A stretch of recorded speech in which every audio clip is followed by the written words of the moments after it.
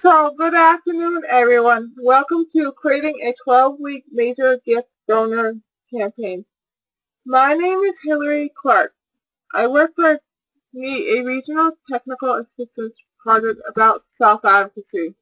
The NEAT project is managed by Green Mountain Self-Advocates, the state self-advocacy organization in Vermont. Today's presentation is our third webinar with Andy Robinson.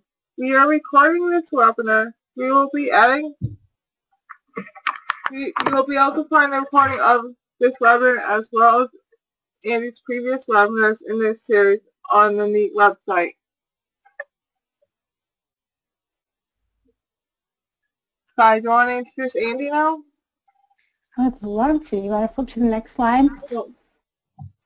Hi, my name is Sky Peebles. I work at Green Mountain Self Advocates and I work on the NEAT project with Hillary.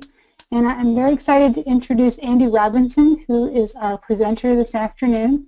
And Andy has been working for over 35 years with lots of different nonprofits as a facilitator, a trainer, a fundraiser, um, and started doing consulting in 1995 and he has worked with thousands of nonprofit staff and volunteers in almost all 50 states and across Canada. And he specializes in lots, uh, lots of different organizational types, like organizations that work with human rights, social justice, the environment, community development. And he has a great um, set of skills and ideas to share with us, and he also has lots of resources that he's going to point us to towards the end of the webinar. So we're really excited. Thank you, Andy, and I'll hand it back to you. Lovely. So uh, Hillary, next slide, please. And before we start, I want to thank uh, Hillary, I want to thank Sky, I want to thank all their colleagues at uh, Green Mountain Self-Advocates, and of course there is the Northeast Network, and many of you come in from there. So Thank you for participating, thank you for your work, and thank you for your help. So a couple logistical things. We will um, send you handouts and the slide deck when this is over. Uh, one of the, there's an exercise associated with this that we're going to send to you. Um, so you'll have that stuff. It's available also as download. Um, we are going to take questions from the chat box, and then we'll do our best to open it up at the end for uh, spoken questions. If we have everybody on the call unmuted, it gets pretty loud and hard to hear, even if nobody's talking. There's a lot of background noise. Um, so you're going to be muted, but we will give you a chance to chat later. In the meantime, feel free to use the chat box. Uh, both Sky and I will be keeping an eye on that to try and answer your questions as they come up, and we do encourage questions and or comments. So next slide, please, Hillary. Our topic today is a major gifts fundraising campaign. And in a minute, we'll talk about the word major. Um, it shouldn't be intimidating to you because you decide what the word major means. And the idea here is that this is a season when you all get together and identify potential donors, go out and talk to them, ask for their support, and you do it in an organized, structured way. So let's get a sense of where you are now. Next slide, please. And for the next three slides, we're going to be putting up some polls to get a sense of how you, where you stand now, what the baseline is for your respective organizations. So the questions here is, do you meet with donors and ask for gifts? And, and what's working, what hasn't, what hasn't worked? Maybe what have you learned in the process? So Hillary, go ahead and put up the poll, please. The first poll is about, are you actually out talking to people in person? And the question is this, how often do you meet with donors to ask for gifts? Uh, um, you, get, you get to select one. We frequently meet with donors to ask. Uh, second option is we occasionally meet with donors to ask. Third option is we rarely meet with donors for ask. And the fourth option is what are you talking about? We've never done this. So um, do you actually sit down and schedule appointments and look people in the face and ask them to support you financially? That's the question here. So you get to vote for one of these. Please go ahead and do that. And we'll give you a, a minute or two on this, and uh, then we'll, we'll see how you're doing on this one it is worth noting, and we're going to get into this in a minute, is that this is probably the scariest way to raise money, but it's also the most effective way to raise money. You get the biggest gifts in person, and you get the highest percentage of people saying yes in person. All right, Hillary, let's see what the poll looks like, if you can give us the answers.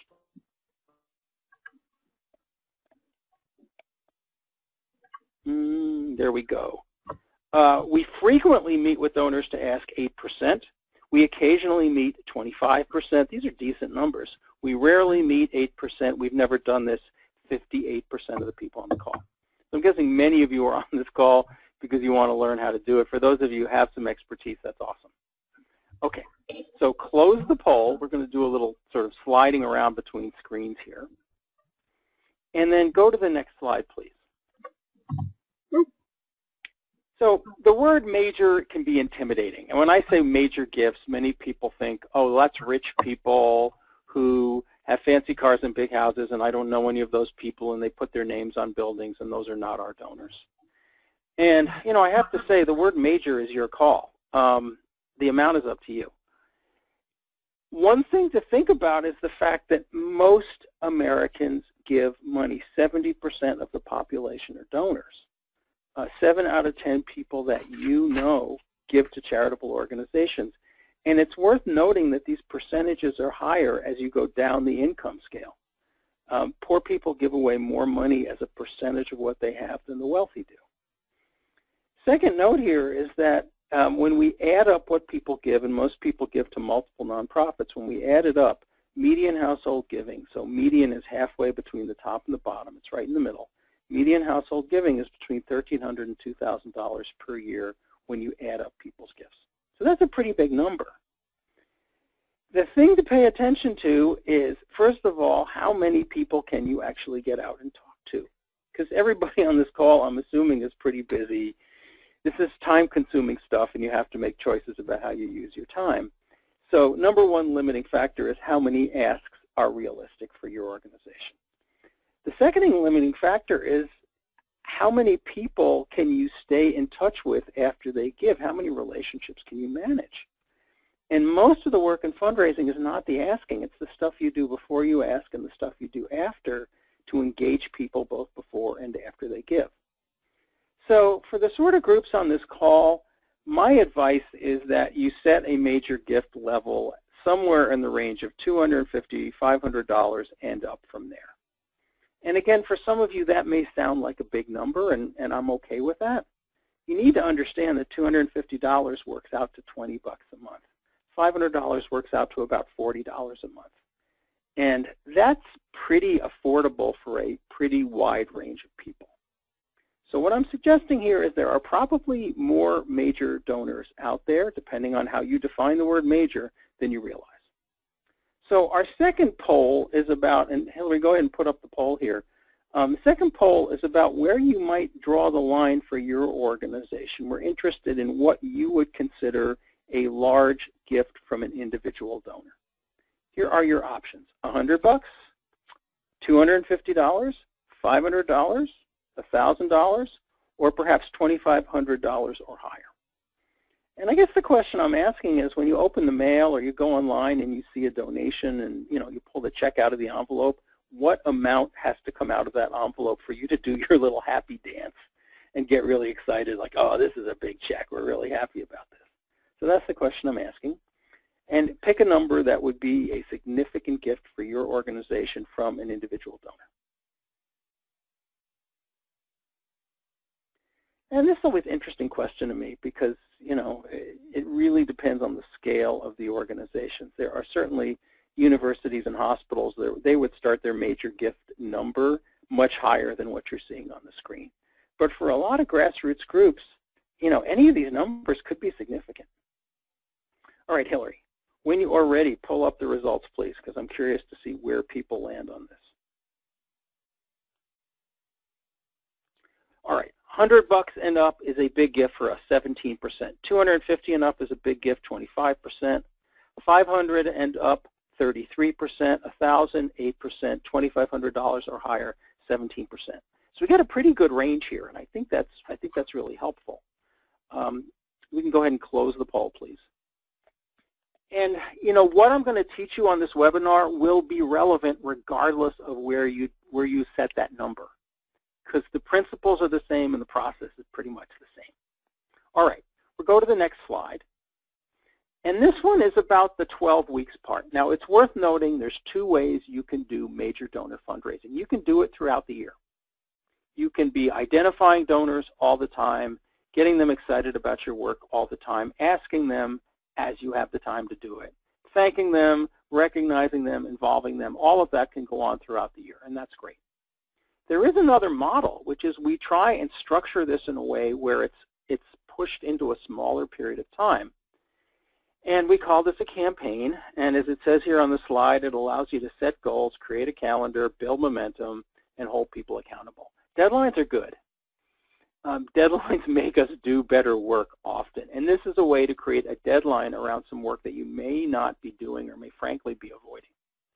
12 weeks is not magic. Um, I know a client that does all of this in two weeks, twice a year. The first week is uh, training and phone calling and training and phone calling. The purpose of the phone calls is to set up appointments. And then in the second week, they go out and they do meetings. And they do three or four a day. And so, again, 12 weeks isn't magic, but time limited may work for some of you. Now, we have another poll question. Please put it up, Hillary. And I want you to think about if you were to try and do this during one quarter of the year, one season of the year, when would it work best for you given other commitments that you have? And this may have to do with when you think your donors are available or when you might have time to do it um, or when there are fewer conflicts in your organizational schedule. But if we are talking about a time-limited fundraising campaign, what's the right time for you? So we have the options. We have spring, summer, fall, winter. I'm, I'm being sort of, I'm not setting specific months because we can be flexible on this but it's worth thinking about when this might work best for you given your other commitments that you have organizationally. And I'm, I'm, there's not a right answer or a wrong answer. If you do it any of these times, it's good. There may be a better season, but we'll talk about that in a second. All right, so Hillary, let's see what people said. Spring, 46%, summer 15%, fall 23%, winter 15%. So here's the thing I will tell you. When we study when people give, most nonprofits find that they get more than 50% of their income from individuals in the last quarter of the year, from October through December. A lot of people tend to give near the end of the year. So there's sort of good news and bad news here. Good news is if you can get organized to do it at the end of the year, um, people tend to be more generous then. The bad news is you have more competition then because a lot of other people are asking at that time. So I would say whenever you can get it together to do it is the best time.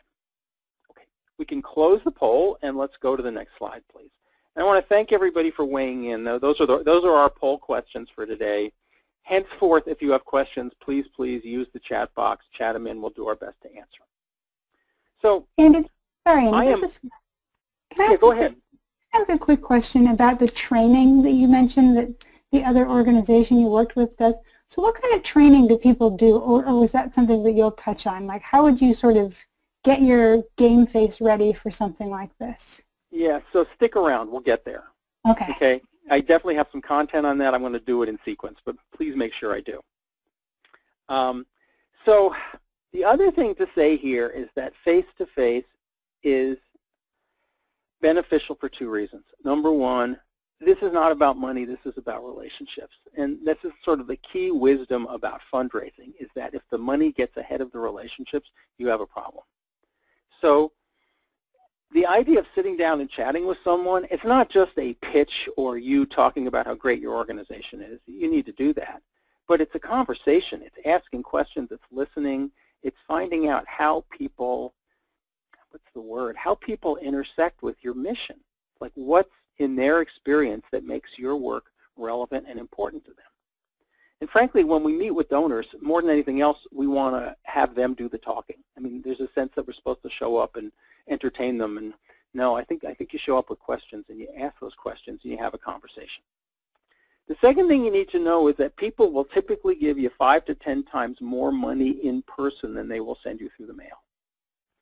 And, you know, doing the math here, if you have somebody who sends you $100 when you do your year-end annual appeal, they mail you $100, they are probably a 500 to $1,000 prospect if you can get in to see them.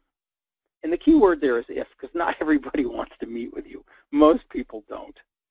But, you know, the general math is if you start with 10 people who are good prospects for your organization, meaning they have some relationship with the organization or with you personally, and you send them a letter, you call them up, and you say, hi, I want to meet with you. I want to tell you about the organization. I want to learn more about you. I want to ask for your support. So this is a fundraising meeting, just so we're clear.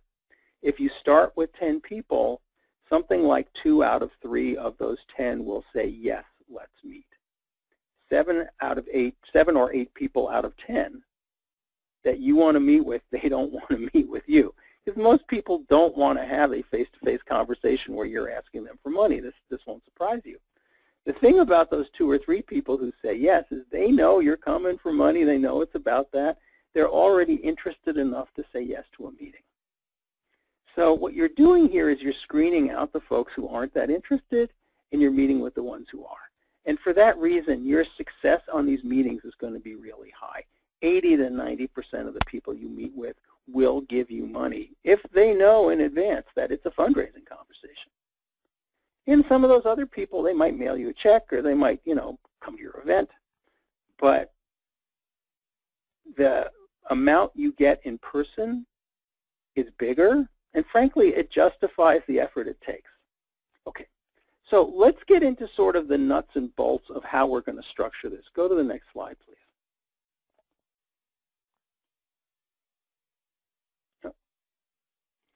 So the thing about the, do we go backwards? Yeah, it went backwards. Go forwards, please. the other direction. There we go. Bingo.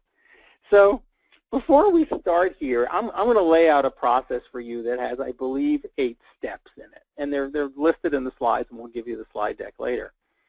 Before you begin, this is like step zero. You want to clarify why people might give to you.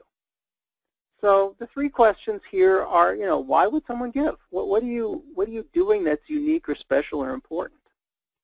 Second thing is, is what are you working on? What's the value of the work? Why, why is the work necessary? And third is, why is the gift needed right now? If somebody gives, what impact will it have? And this can be a writing exercise. This can be you sitting around with your team and just trying to answer these questions, everybody writing down answers, comparing notes.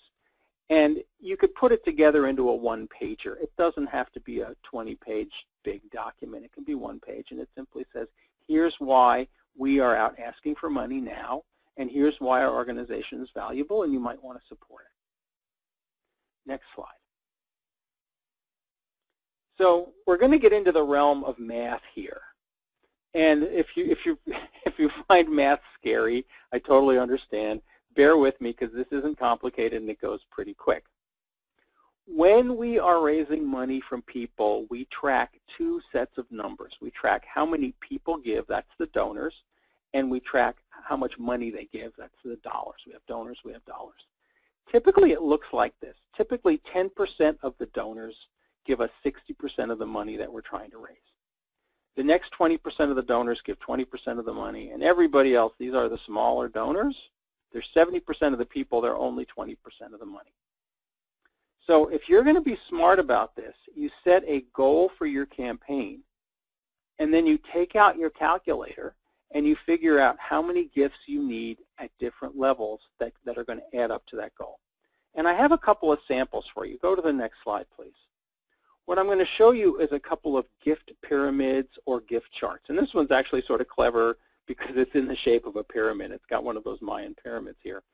Uh, this is borrowed from the Iowa chapter of the Sierra Club. And three columns here. Number of donors, gift amount, money raised.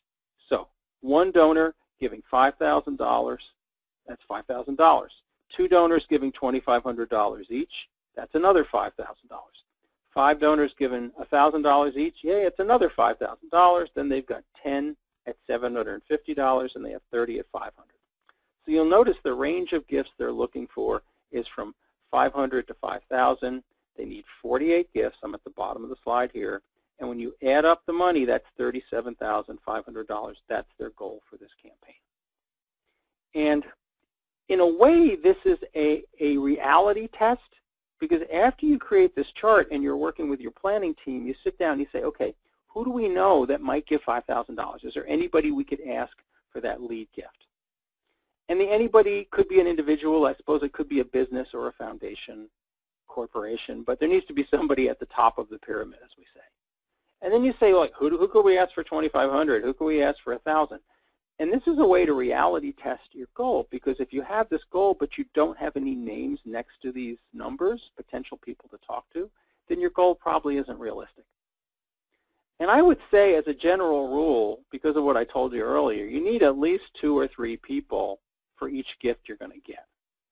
So they need 48 total donors. They're going to have to generate a list of 100 to 150 prospects in order to be pretty close to guaranteeing that they can reach their goal. Let's go to the next slide, please. Here's another sample of this.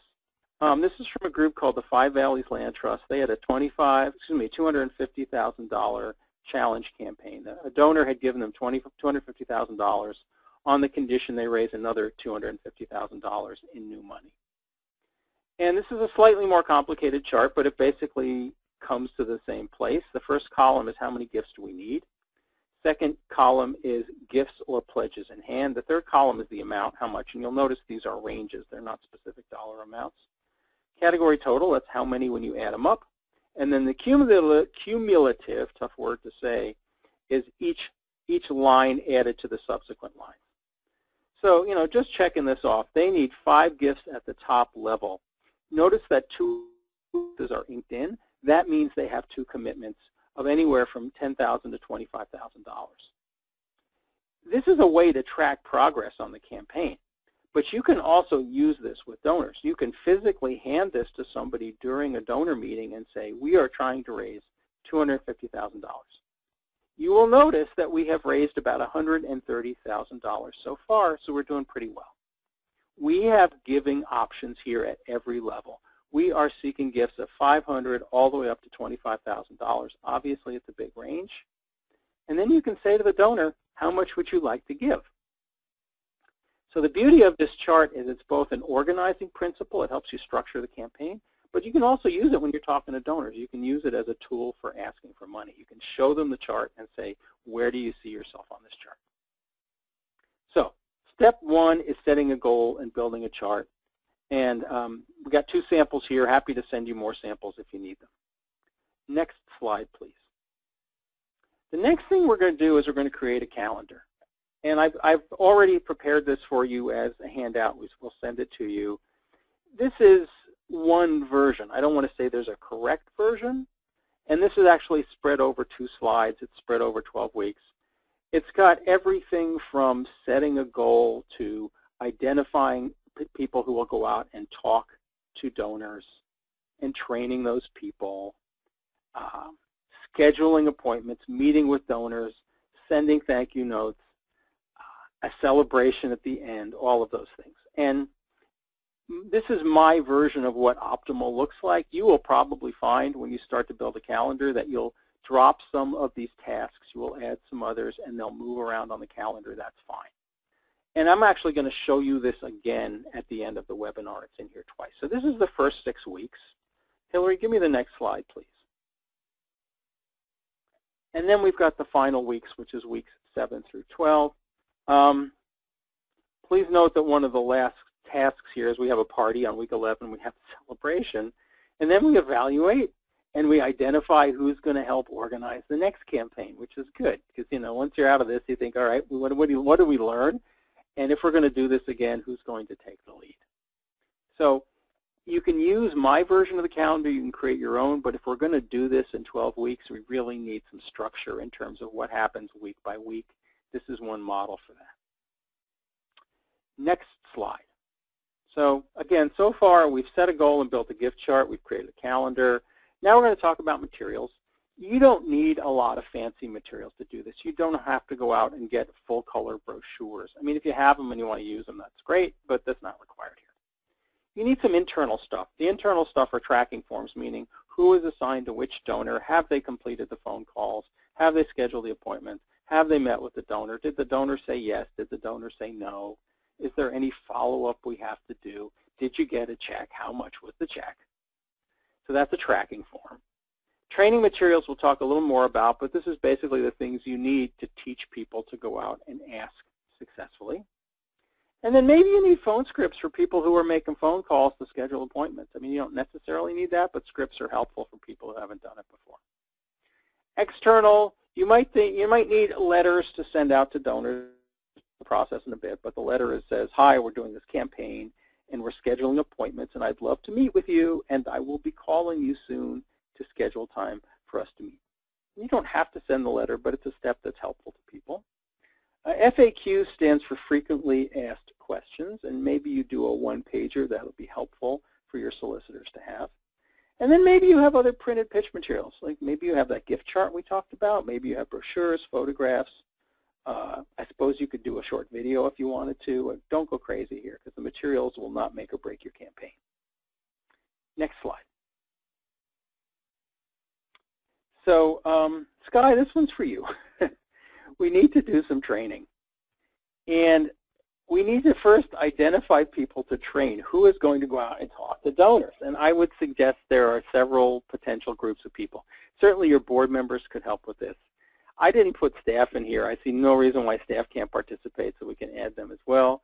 Committee members, other volunteers, loyal donors, who anyone who is passionate about the organization, who is enthusiastic, and is willing to do this. And it's worth noting that when we go meet with donors, if you have the people to do it, it's often helpful to go in pairs. And, and, a good pair is a staff member going with a board member or a volunteer. And it's a little more work to get to organize the logistics of going out in pairs, but it's, it's important because A, you'll feel smarter and stronger and more confident if you have somebody with you. Uh, but also, I mean, two people know more than one person. It's um, there's a better chance that one of you will resonate with the donor, will have some some commonality. And it's good for your donors to know multiple people involved with the organization. We want to share those relationships. So the second bullet here is provide training. And usually what we're doing is we're getting people in the room and we're teaching them the structure of the conversation and then we're doing role plays. And I'm actually going to walk you through the structure of the conversation. I believe I have those slides in here. Yes, I do. So I'll talk you through that soon. Um, but, you know, what we're doing is we're getting people in the room usually for at least an evening, a couple of hours at minimum. And we're saying, okay, here's the process. Like, here's how the campaign works. Here's the calendar. And your job is you're going to be talking to a certain number of donors, and then you assign prospects, or maybe people pick their own prospects and you teach them about how to do the donor conversation, and then they practice with each other. And, you know, I say the word role play and people cringe, but it's really the best way to learn how to do this is to practice with, practice with a partner or two. And then where it says here is uh, lines of accountability, and that simply means who is responsible to whom. If five people who are going out and doing donor visits, who do they report to? I mean, is there somebody who's chairing the campaign and they call afterward and they say, all right, I did my visits and here's what happened? So you need to have some structure so that people know where to send the money, where to give the information, uh, who's responsible for putting stuff into a database, that sort of thing. All right, next slide, please. So we want to identify people that we're going to ask. And this is the classic definition of the word prospect. It's a fundraising word, and it simply means somebody that you would like to approach and to ask to give. ABC makes it easy to remember. A stands for ability. Now, ability says, do they have money to give? It is worth noting that ability is not wealth. And, you know, as I noted earlier, depending on where you draw the line on your minimum gift for your campaign, if you're going $250, that's 20 bucks a month. If you're going $500, that's $40 a month. I mean, these are not huge numbers. I believe there's quite a few people who could afford gifts of those size. So don't assume you have to find wealthy people. It's the biggest mistake that people make when they do this. Um, stop looking for wealth. Start looking at your neighbors. B is belief. Do they care? Are they connected in some way to the work of your organization? And C is contact. Do you have some way to get to them? Is there a relationship with this person?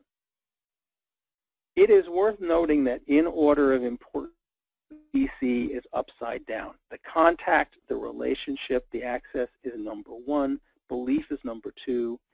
How much money they have, the one about ability, it's the least important of the three. So what we're going to do is we're going to sit around with lists, and maybe you have a previous, you know, lists of current donors that you want to look at and see, are there, is there anyone on our list right now that we would like to try and meet with and ask them to give more? So I guess the word would be upgrade. There anyone we'd like to upgrade? You can ask people to bring their own phones and their own tablets and spend some time paging through the names, saying, is there anybody that you know that you'd be comfortable approaching? A third thing you can do is collect lists from peer organizations. So, you know, you may operate in, in a community or in a state where there are a variety of organizations that are engaged with the disability community. Many of these organizations publish their donor lists on their websites, in their newsletters, their annual reports. You can collect those things. You can bring them to the prospect meeting and you can pass the lists around and say, here are some people who already give to brother and sister nonprofits. Do we know any of these folks? Are they worth approaching for our organization? And in that case, you've met the ABC criteria. A, do they have ability? Yes, they're giving to another nonprofit, so they should have some ability. B, do they believe? Well, they, they're giving to a group that you would consider a peer or a partner. So yeah, they believe. C, contact, does anybody know them? And if you meet these three criteria, that's someone you should try and approach. It's important to help your team think like prospects. Now, if you already have a list and you want to just start with your own donors and try and talk to them, that's a great place to start. And maybe that's all the bandwidth you have, is let's go to the 20 people who are most generous to our organization already and see if we can get them to give a little more. And if that's what this boils down to for you, that's awesome, and that's a really good place to start. All right, next slide. So we've talked about this a little bit here. Um, we start with our current donors. You want to rate them. So this is how much you think they can give, but also, I think more importantly, the strength of your relationship with the organi with their organization, excuse me, the strength of their relationship with you personally or the organization. And I have to say, I mean, the strength of the relationship trumps the amount of money always. It's really all about how connected are they to the work you're doing. And then you set amounts for each one. Like, all right, let's get a sense of who. Let's go talk to Joe, and maybe we should ask him for $500, or let's go talk to Sally and ask her for $2,000, or let's go talk to Martha and ask her for 500 bucks, and, and that's fine. If you're uncomfortable picking an amount, you can say, let's go um, talk to Juanita, and we'll show her the gift chart, and we'll let her pick the amount. And that's also a fine answer to that. And then the assignments is where this either makes or breaks. I mean, you got this list, and then the question is who's going to talk to whom? And hopefully some people raise their hand and say, I will talk to so-and-so.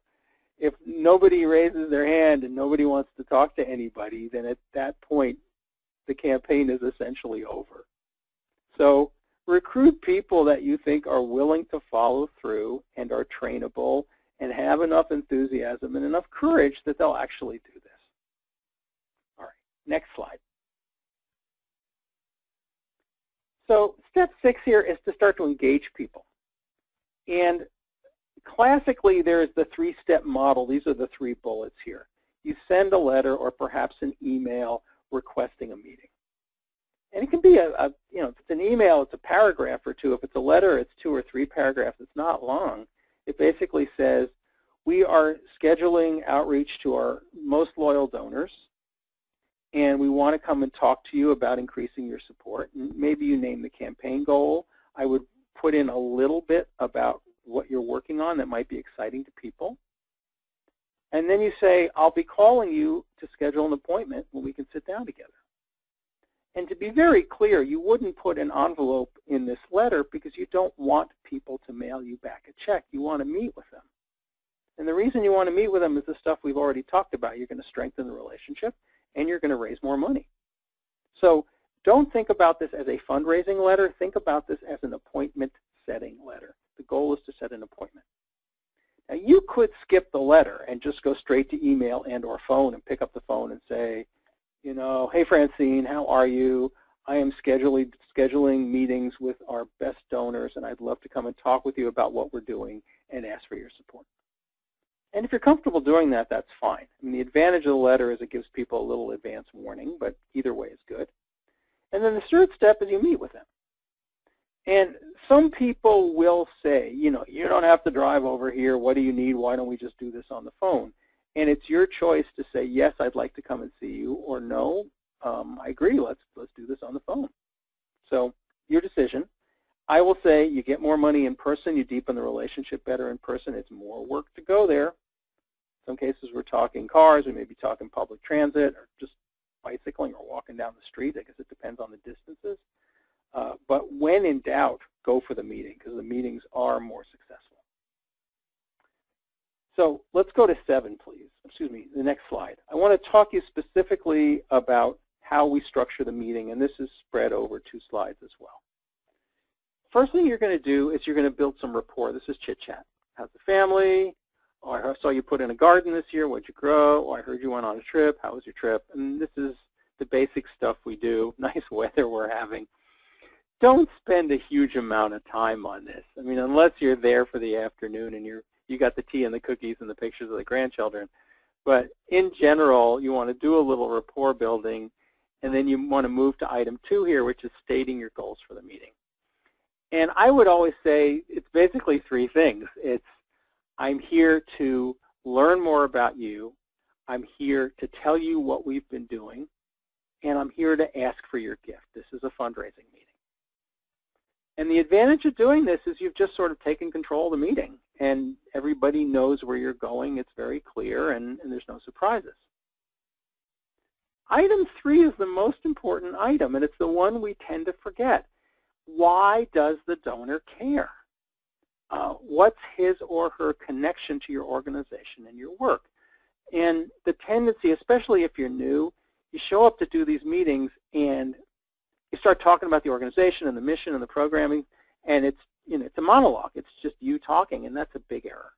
So we want to let the let the donor talk first, and the way that we do that is we ask questions. So you might say to the donor, um, you know, uh, Elmer, you have been giving to our group for 30 years, which is amazing, and we're so grateful. Thank you for your support. And you may not be aware of it, but I added up your donations, and you've given seven, several thousand dollars over the years. And then I want to know, why do you give us that money? I mean, why is this work important to you? Why do you care about us? So the magic word here is dialogue. You've got to get the other person to talk. If you do all the talking, you're going to go down in flames. So please ask questions. If needed, bring those questions with you. Prepare them in advance. Bring them along. Ask them. Next slide.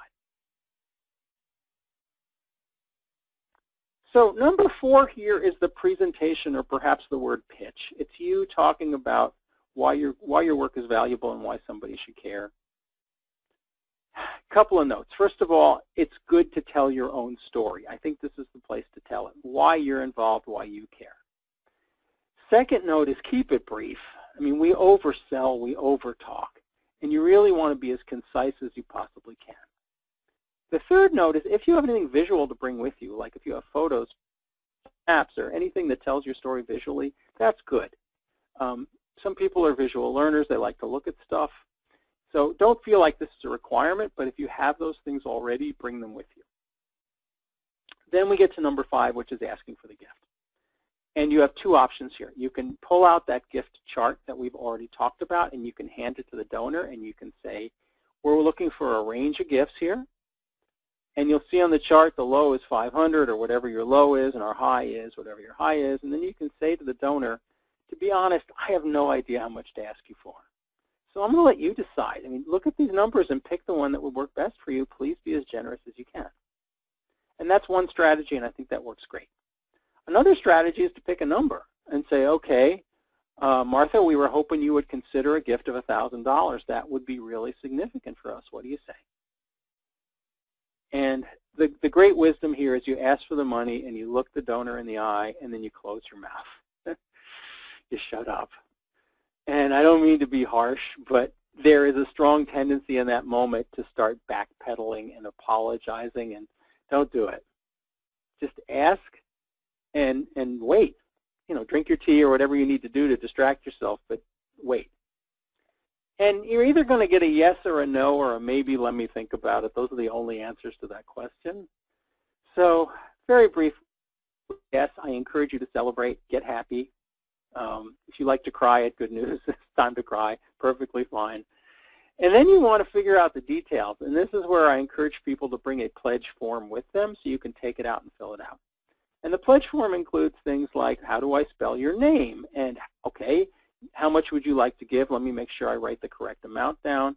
And oh, it says terms of payment. Are you writing me a check today? Are you sending one in? Am I doing a credit card? How do you want to do this?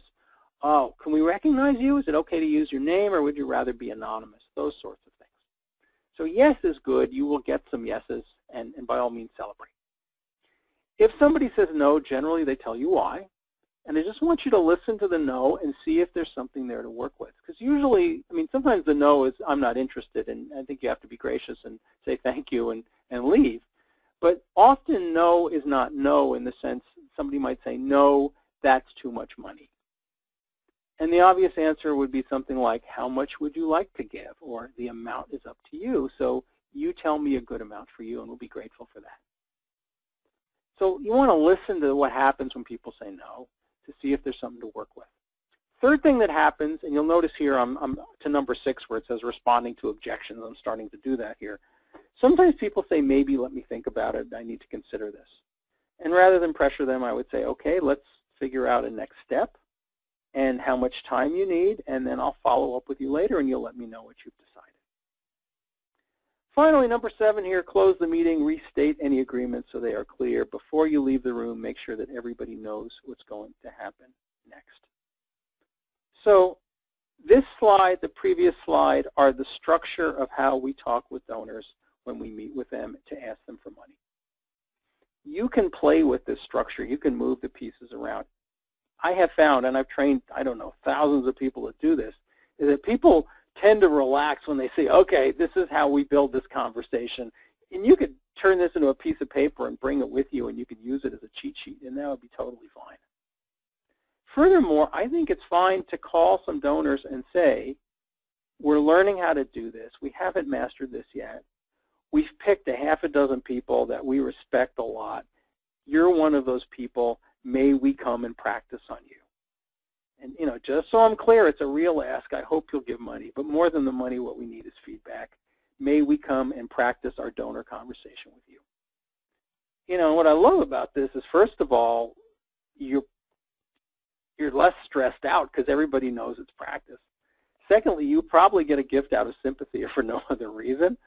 And third, guess who is now a member of the fundraising team? It's the donor who's helping you improve your fundraising conversation. And, and this is a form of flattery, saying to somebody, you can help us do this better. And so I encourage you to show up humble. It's like it's okay to say, we don't know how to do this, but we're learning. Can we learn with you? I think that positions you really well. Okay. So there's a couple more steps, and then we're going to start taking questions here. Next slide, please. The accountability piece is a big deal, especially if you're working with volunteers you need to have goals. Um, how many letters are we sending? How many phone calls are we making? How many donors are we meeting with? How many thank yous are we sending out? All that stuff. You really need to have benchmarks to measure your progress. It is good during the campaign, whether it is two weeks or eight weeks or 12 weeks or whatever, to have check-in meetings either in person or by phone to get the group together and say, how are we doing? What are we hearing from donors? What are we learning? Are we getting any yeses? How much money are we raising? Those sorts of questions. Now, incentives are fun if you want to do it. And so maybe you say, okay, um, on average, we each have eight people to contact. The first person who completes at least six phone calls and actually talks to a donor and either gets a meeting or doesn't get a meeting, you know, we'll buy you lunch at your favorite restaurant on your Market Set Go. And so, you know, prizes can be, certainly be overused. They don't have to be expensive. They don't have to be fancy. But you might think about what incentives will help people follow through on something if they perceive that it's going to be challenging for them. Next slide. Final step here, when the campaign is over, we want to have a party. And it could be a party for, for the staff and the board and the volunteers. It could be a party for the donors too. you know, decide who, who you want to celebrate, and then we want to evaluate. So make sure you thank everybody. We do the wrap-up party. Uh, you sit down and you say what worked, what didn't, how do we improve it next time? I think it's good to loop back to all of your donors and, and stakeholders and say, you know, we did this campaign. We set a target of meeting with uh, 40 people. We ended up meeting with 31. We got this amount of money in total, and we had a really good experience, and this is what we learned. And as noted earlier, it's good to identify the leaders for the next campaign before it starts because then they can be preparing themselves for that. So that's pretty much the guts of how you do this. Hillary, we're going to go to the next two slides, please, and, and we'll do one at a time. And these are slides I show you, showed you earlier, but this is sort of a recap. Once you have all the pieces and you figured out what they are, you need to structure it in a way where you have a cal calendar and you have some accountability week by week. Um, next slide here. So you'll, you'll get a copy of this to work with. Um, it's coming to you as a slide deck. It's also coming to you as an exercise. The exercise is called Creating a 12-Week Major Gifts Campaign. It's from a book I did called Train Your Board and Everyone Else to Raise Money, and that'll, that'll be a, a free download you get as, a, as an extra incentive here. So I think we can go to the question slide, which is the next one. And let's start with chat. Um, Sky, have we had any chat questions or feedback? We don't have any chat questions yet, except for we did have one question about um, when people would get the slides. And as Andy said, we're going to be emailing out the slides and the handouts right after the presentation. And there's nothing in the question box yet either. Oh, okay. we have one popping in actually. Good. Hmm. And you know, you, you, I know you had a question about training, which I did my best to address, but you may have other questions. You get to ask questions too. We're going to take chat first, and then in a few minutes we'll, oh, we'll do our best to open up the phones if somebody wants to talk and, and give a question that way. It gets a little noisy, but we'll give it a try. But first, let's go with chat. So, so far in chat we have nothing, but we do have three questions from Caroline in Massachusetts on the question box. Okay, good. So let me unmute Caroline. And you should be live and ready to go. Oh, okay. I was, I was going to write them in. Um, so I have I have a few questions. The first one is, would you say that this process is the same for institutional donors? Oh, great question. So just so we're clear about terms, eh, eh, just so people know, an institutional donor is any donor that's not an individual. So it might be a foundation, it might be a church, it might be a, a labor union, it might be a business. And the answer is yes and no in the sense that, you know, if you're applying to a foundation, there's an application, there's a there's an office usually, there's they have deadlines that might not meet your deadlines. So in that sense, it's sort of different. On the other hand, if you're trying to raise money from, for example, local churches or local small businesses, I think the process could be very similar. What about so large? What, sorry, go ahead. What about what? larger businesses, like people well, who could actually give you some money. Yeah, well, the thing about what you need to know, is I think this came up on one of the other webinars, when we study where money comes from in this country in terms of nonprofits, 15% um, of the money given to nonprofits comes from foundations, 80% comes from individuals, only 5% comes from businesses and corporations. Okay, thanks. And people sort of assume that you know where they're going to get the money is by getting some big company to give them money. It's certainly possible. It's a whole nother topic.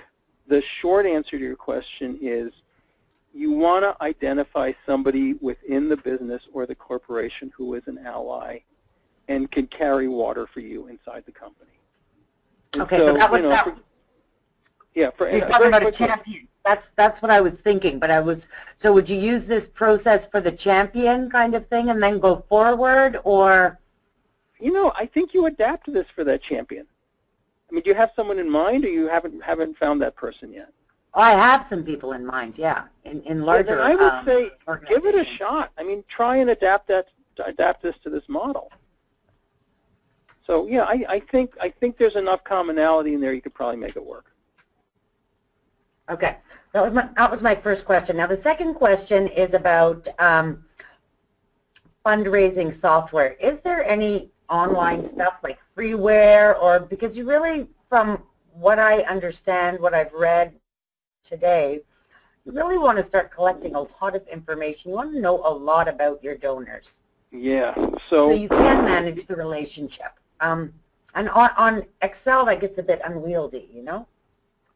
so the bad news is you get what you pay for. And you can start with an off-the-shelf database program like Microsoft Access that'll set you back, I don't know, $79 or something, Mhm. and you can customize that and make it work for this. That's one option. And then there are relational databases built for fundraising that start at a few hundred bucks and go up to tens, if not hundreds of thousands, depends on the functionality. My, my brief advice is I'd suggest, Caroline, that you identify five organizations in your area that you admire, and they don't have to be disability organizations. It could be, you know, a museum or an advocacy group of another kind, environmental group, doesn't matter. And I call them up, I say, what kind of donor software do you use? Do you like it? Or is it, what can it do? And then the key question for me is, can I come and sit with you in your office for 30 minutes while you use it and see if I can make sense of it? And I would just have you do some market research with peer nonprofits and see what they're using and what they like and how much they pay for it and uh, what the customer service is like and those sorts of questions. Okay, thank you. Third question. Oh, I've forgotten it. Sorry, you'll have to go on to somebody else. If I remember, I'll get back to you. All right, we'll, we'll, mute, we'll mute you and bring you back if we need to. Sky, Okay, is anybody else much. queued up? You're welcome. We do. We have another question from Tammy in New Hampshire, and Tammy is wondering, could my local advocacy group and I do a fundraising campaign during an event such as the Home Life Show? Oh, interesting. Interesting. Well, it's a different animal. It could be done. What I think you're going to I mean, this is, this is an event organized by somebody else. So what you have to do is go to them and say, can we use your event as a fundraising opportunity for our organization? And, you know, I'm imagining this is like a trade show where there's a lot of booths and people are looking at stuff. And you could maybe set up a booth there. I don't think it's going to be a big fundraiser unless you have somebody really, really good working the table and pulling people out and saying, hey, come learn about our important work. Hey, are you interested? I mean, you have to have some extraordinarily extroverted people to sort of grab people off the floor and talk to them. Um, so it's possible. I don't think you're going to net a lot of money for the work involved. But if you want to try it as an experiment and you have the time and the energy to do it, what the heck? Um, you know, I suppose the other thing is if there's any organized programming and you have permission to stand up and pitch to the group, that's a different sort of fundraising, but it certainly could work. Now, while we're talking, go ahead to the next slide, Hillary, because we can do this and then I'll take some more questions. I do have, I'm an author of many books, and the one on the slide is specifically about this topic. It's called How to Raise 500 to 5,000 from Almost Anyone. And it's about how to set up appointments, meet with donors, and ask in person. So that's a tool that might be useful for you if you want to go down this road. Sky, are there other questions? There are not at this point. Um, I see a couple of hands raised, but it doesn't look like people are typing in the questions, so I would encourage you to do that now. If you uh, have a question, just put it in the chat box or the question box. Yeah, I don't know if you, I don't know if there's someone you want, specifically you want to unmute. So While, while she's doing that, Hillary, let's go to the next slide because people may want to follow up with me individually. Um, This is Topper. I had a question then too. Sure, go for it. Um, so um, I'm really trying to embrace this, Andy. It's um, really It's getting scary, up. I know. It's so scary because I get it. all right, but I'm I'm we got to do this. Um, but Yep, okay, so one thing I'm trying to think about, I go to, I go to logistics. All right, so our board members, not one of them drives a car. So so I'm just trying to think, do we do we team them up with um, staff? Do we team them up with um, an ally? Do we just find them a? Do we team up two board members and just find them a driver? I'm just trying to. Just... Yeah, it's a great question. So the answer is any of the above. Okay. And furthermore, you know, you can say to, you know, you could do these meetings in your office. You guys have an office, right? Yep. yep. Yeah, and you could, you could. I mean, I'm, I'm. a nameless organization called me last night to schedule a donor meeting, and they meet with me once a year, and I'm a donor to this organization. They're very diligent about this. And, you know, I, I will probably, they're in Montpelier too, and I'll probably just go meet them in the office because I'm in town often enough. It's easy for me to do it. So you could do it in the office, and you could invite donors there. Mm -hmm. um, you could, you know, take them to lunch, and you know, mm-hmm. have them take you to lunch. It's always a question about who buys, and you know, you should probably offer to buy people lunch. But it, it doesn't mean that the, the, transportation doesn't necessarily have to be a barrier. You can okay. you can say to the donor, you can say, you know, I'd love for you to meet with so-and-so board member who doesn't drive. Are you willing to come and meet at our office? Mm -hmm. okay, and that's one solution. But but pairing people up is great, and maybe you do pair them up with a staff who is, has got transportation, and you go out together. The main thing I'll do, Topper, to, to make this less stressful for you, I hope, is to say start small. I mean, yeah. pick three people that you want to try this with, or pick five people, and pick a couple of board members who are into it. And don't assume you have to roll it out as this full-blown, heavily structured campaign. You could test it a little bit and see if you get any results. Mm -hmm. So if you start small, it'll be less overwhelming. Yeah, and then those then the board members that are that we work as a team, they can be the ones that kind of sell it to everybody else. So, yeah. I right. think that's right. I think you pick a couple and you you know you do four or five visits or whatever you can get, and then you go back to the board and you say, here's what happened. You know, we mm-hmm. we tried to meet with eight people. We got five meetings. We did the five meetings, and we raised a total of twelve hundred dollars, and we're feeling pretty good about that. Mm -hmm. Like, who wants to be part of this? Gotcha. So that, that's a great question. And, you know, it's worth noting, this is sort of obvious, but what you're seeing on the slide is me and my websites. I want to want to tell everybody that I'll I'll get a list of all the registrants and your email addresses soon. Hillary's very good about that, and I will send you an invitation to something called trainyourboard.com, which is the second website down here. And we do e-news, we're blogging, we're sending out lots of free training exercises. And a lot of the stuff in the blog and on the website is relevant to the conversation we're having today. So it's good backup resources. We send out e-news a couple of times a month and you know, and we're telling people about other training opportunities and so forth. So you'll be signed up for that, and you can. It's easy to opt out if you don't want it, um, but hopefully you'll take a look at it and you'll find it useful. Um, we're just about time. Sky, is there anyone else queued up? There are. There's two questions from Brittany. One of them is, and she's sort of following up on what you had just said to Topper. She wants yep. to know if it's better to take someone out to lunch to talk about being a donor. And she's also wondering about what other, it looks like what other organizations raising money, so maybe additional resources. Oh, good question. Okay.